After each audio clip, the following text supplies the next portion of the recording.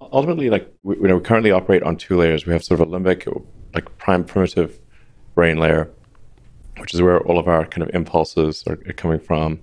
It's sort of like we've got we've got like a monkey brain with a computer stuck on it. That's that's the human brain, and a lot of our impulses and everything are driven by the monkey brain, and the the computer, the cortex, uh, is constantly trying to make the monkey, monkey brain happy. It's not the cortex that's steering the monkey brain; it's the monkey brain steering the cortex. You know, but the cortex is the part that tells the story of the whole thing. So we convince ourselves it's it's uh, more interesting than just the monkey brain. The cortex is like what we call like human intelligence. You know, so it's like the, that's like the advanced computer relative to other creatures. Uh, other other creatures do not have either. Really, they don't they don't have the computer, or they have a very weak computer relative to humans. But but it's this it's like it, it sort of seems like sh- surely the really smart thing should control the dumb thing, but actually the dumb thing controls the smart thing.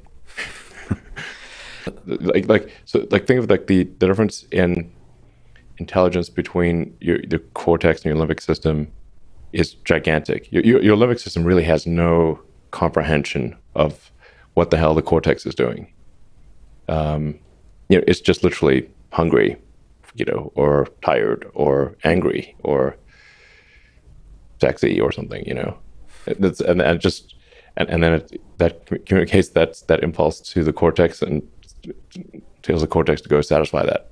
so then a lot of a great deal of like a massive amount of thinking, like truly stupendous amount of thinking, has gone into sex yeah. without purpose, without procreation, without procreation which, yeah. which which is actually quite a silly action in the absence of procreation. It's it's a bit silly.